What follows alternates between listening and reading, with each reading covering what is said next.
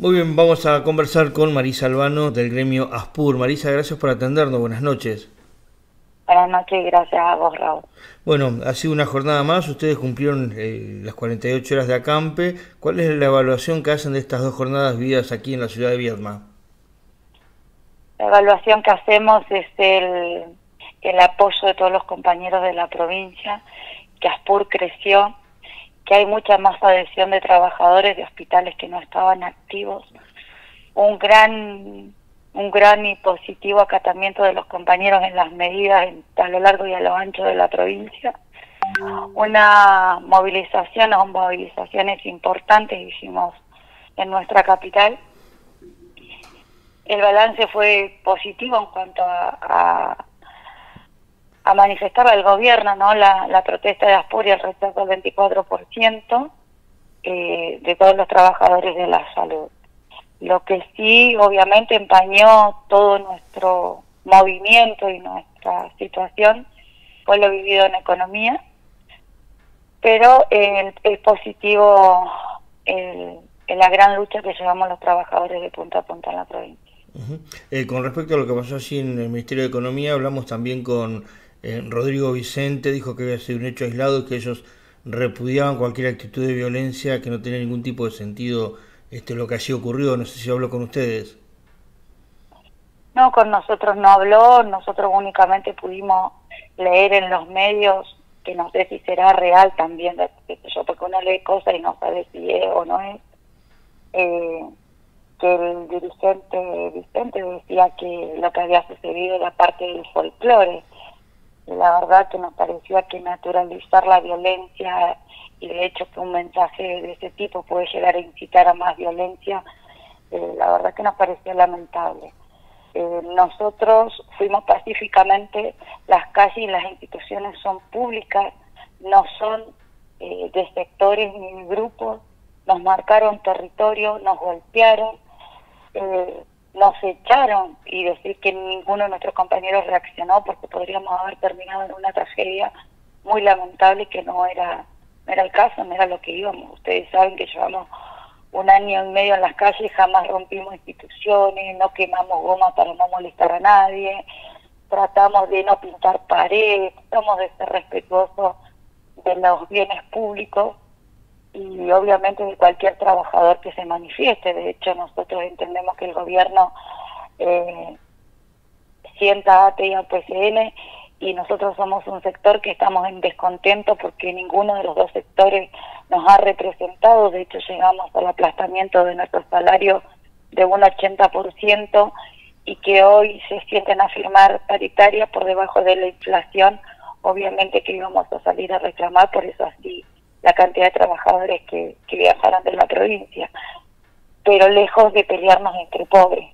La verdad que eh, ese acto, lejos de nosotros, creemos que todos estamos mal pagos, que debemos unificarnos en el reclamo, lejos también de cualquier acto de violencia, vandalismo o lo que fuera.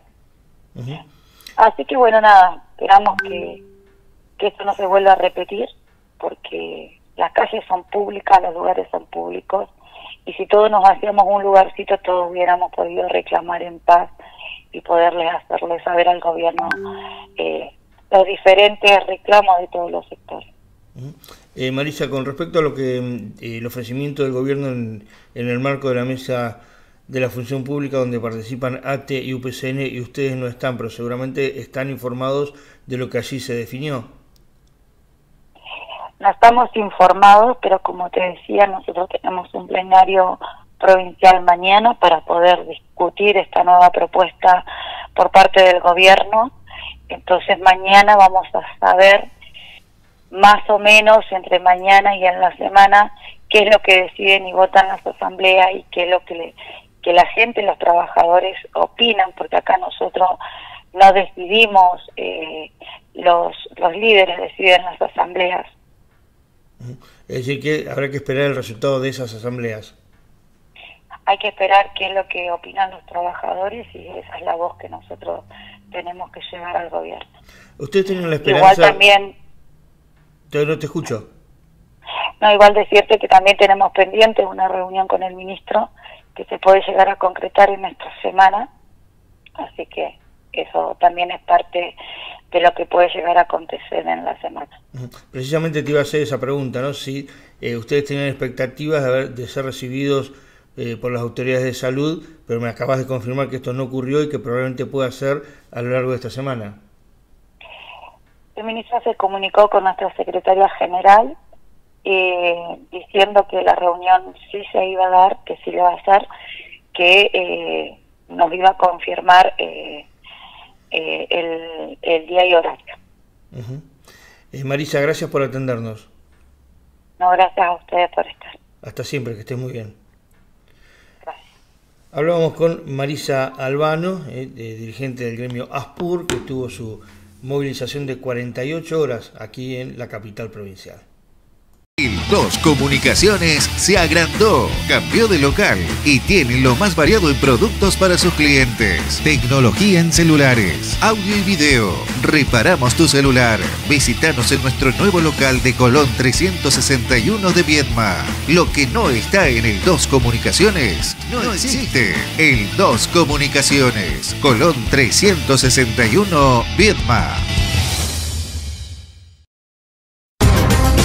Metalúrgica Saocor. Somos fabricantes de cortinas metálicas, de aluminio y acero inyectado, automatización de portones, cortinas estándar, blindadas, microperforadas, acero inoxidable, galvanizadas, ventas de motores y repuestos, con un servicio postventa y todo asesoramiento personalizado. Comunicate al 2920 15 30 80 27 o encontranos en Facebook como Saocor o en nuestro local Antártida Argentina 3300 96, San Antonio Oeste, Río Negro, porque lo más importante es lo que hay detrás de la cortina.